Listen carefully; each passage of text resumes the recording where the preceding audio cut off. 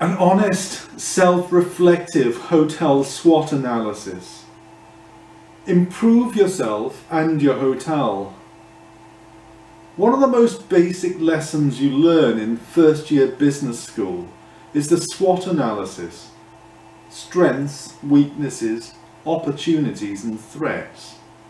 It's a great framework to apply to your hotel to understand what you do well what you can improve on and where your greatest threats to your hotel lie.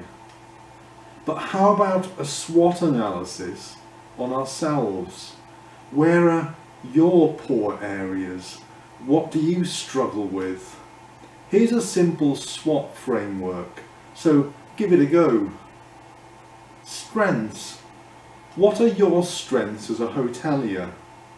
What do you do particularly well? Or what's your unfair advantage? Perhaps you're great with a particular departmental skill, or perhaps your distinguishing characteristic is your ability to sell your hotel.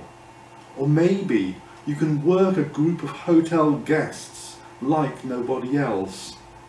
Knowing your strengths tells you what added value you can uniquely bring to your hotel. Weaknesses. You might be a terrible planner, or you might gossip far too much, or you might dread stepping foot outside your hotel, but you might also feel uncomfortable admitting it or talking about your weaknesses. However, unacknowledged weaknesses are hotel killers. They slowly eat away at the core of your hotel with little hope of ever changing the situation.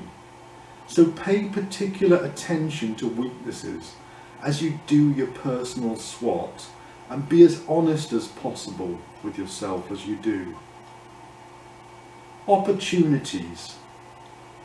Opportunities can be chances to build on your strengths and rectify your weaknesses, either through self-improvement or by adding additional members to the team with complementary skills. But of course, opportunities can only be leveraged if weaknesses are recognised and acknowledged. Yet another reason that honesty is so essential in the process of conducting your personal SWOT. And finally, threats. Threats can come from multiple sources your skills may lo no longer fit the needs of the hotel you run. You might face competition from others who do have these skills and if you're unable to acknowledge and work on your weaknesses while at the same time leveraging and accentuating your strengths, you could find yourself in a difficult professional position.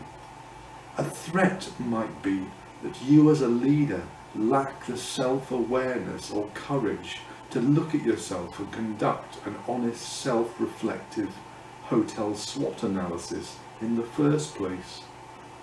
Doing an honest self-reflective personal SWOT analysis is useful for anyone at any stage of their career, but it's especially useful for hotel managers who need such a wide-ranging set of skills to achieve their goals and find success in their hotels.